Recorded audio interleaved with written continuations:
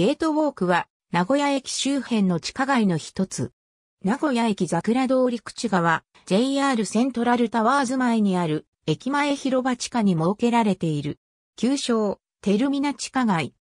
JR ゲートタワー名古屋ターミナルビルの建設に合わせて設けられた地下街であり、1976年11月に開業した。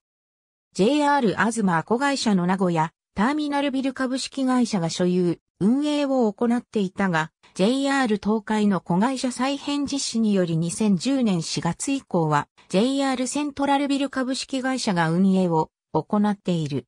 ゲートウォークは東側を名古屋市営地下鉄東山線名古屋駅に沿って設けられた名地下と接している。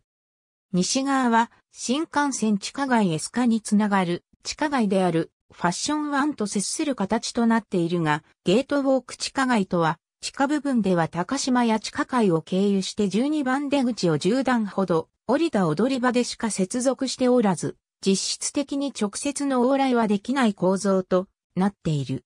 南側には、名鉄名古屋駅や近鉄名古屋駅、名鉄バスセンターなどと連絡するフードターミナルがある。テルミナ地下街はかつては名古屋ターミナルビルと一体的に運営されており、ターミナルビル7階にあったレストラン街は、テルミナージの街と呼ばれていたが、ターミナルビルの建て替えに伴い閉鎖され、現在は後継ビルのゲートタワープラザレストラン街になっている。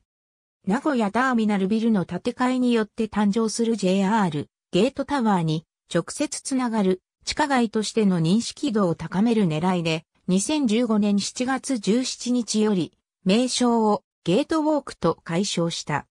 テルミナ地下街時代は、東京の JR 錦糸町の駅ビルも同じテルミナを称していたが、元国鉄保有地に立つ駅前商業施設同士であるものの、国鉄分割ミニエカゴにおいては、営業上も資本上も無関係である。ありがとうございます。